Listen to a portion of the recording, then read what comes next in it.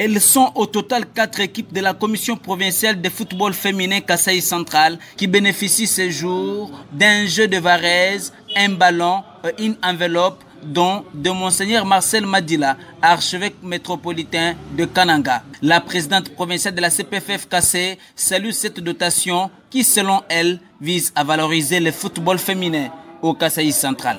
Vraiment, merci, ça nous va tout droit au cœur de voir un homme de Dieu comme ça penser aux joueuses du Kasaï Central et une bénédiction aussi pour nous. Ce sont des ouvertures, c'est pour dire que l'année qui va commencer, vraiment nos équipes vont aller, vont aller aussi représenter la province en dehors de Kasaï Central. Monseigneur Marcel Madila Bassangouka a dans son speech indiqué que ces dons viennent appuyer le travail des titans abattus par la CPFFKC dans l'encadrement de filles.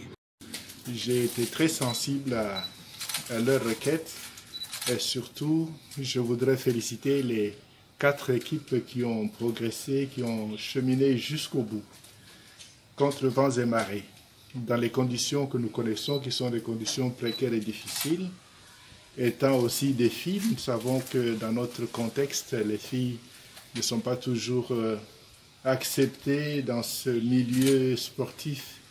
Nous avons produit dans cette, dans cette ville des grands joueurs, des grands boxeurs et puis euh, des grands sportifs. Il est bon que les jeunes prennent modèle sur ces grands sportifs Motif de satisfaction pour le bénéficiaire qui promet ainsi d'en faire usage rationnel, comme l'indique le secrétaire de la Sainte-Monique, sacrée championne pour la troisième fois.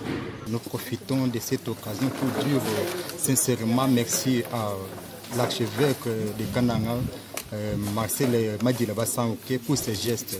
Parce que c'est depuis longtemps que nous avions terminé notre championnat. On cherchait quand même une personne de bonne, volonté, de bonne volonté qui pouvait aussi nous venir en aide. Personne n'est venu nous aider.